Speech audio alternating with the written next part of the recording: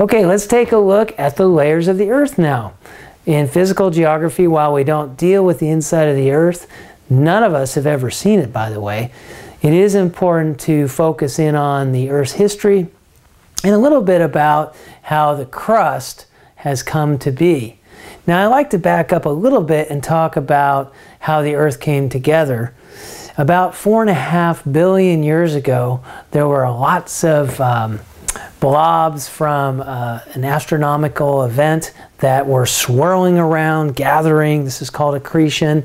These molten blobs eventually started to form together into one giant blob.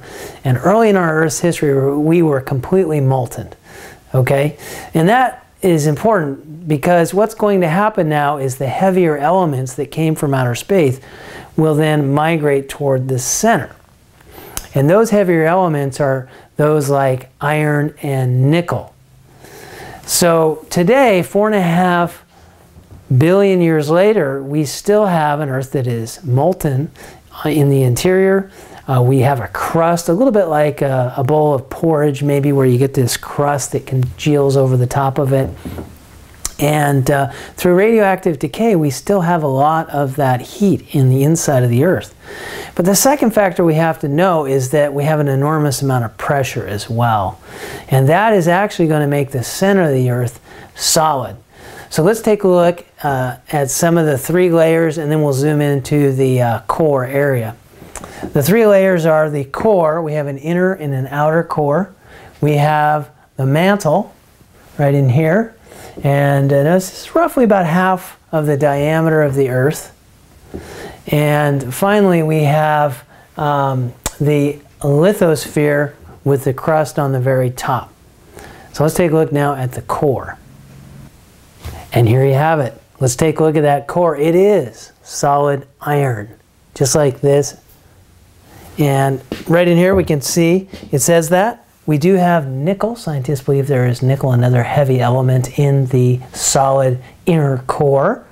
Um, and it is under a great deal of pressure.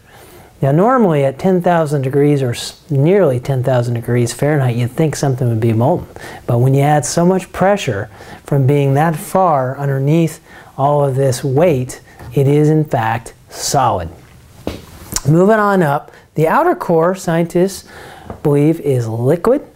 And we think that it generates the Earth's magnetic field as it convects around. Okay, this would also have heavy minerals and elements, I meant to say. Now, how do scientists know we have these different layers? Let's say one's solid, one's liquid. They use seismic waves that are sent through the Earth, and then they can detect these different boundaries, such as this one and this one. Let's take a look now at the mantle. And we are now at the mantle, and I want to move our way up to the lithosphere as well.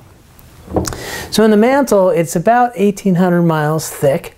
It is stiffer. There is actually a zone between the liquid outer core and the mantle.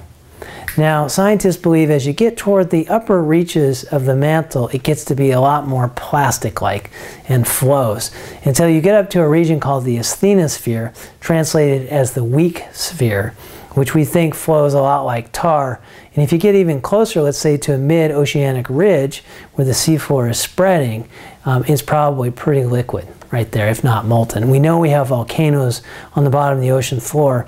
And we know in subduction zones where these plates subduct or go underneath one another with a little help from seawater that uh, then allows it to melt, we do get um, indeed molten magma. If we move up though, the mantle becomes more and more rigid and that is called the lithosphere. The very upper reaches where it becomes solid, and we have this line of discontinuity between tar, let's say, and solid rock. There's a guy named, uh, I don't know his first name, but Mahor, Mohorovičić. Uh, we say I can't even pronounce it. He was a Croatian man about 100 years ago who uh, discovered this layer of discontinuity. Uh, scientists call it the MOHO for short. Uh, but that is where we do have the crust begin. And in our next video, we're going to talk about the crust. But in general, we have two kinds of crust. We have the oceanic crust and we have the continental crust. Okay. And so over here I show the oceanic crust, and to the right here I show the continental crust. So let's take a look at that in the next video.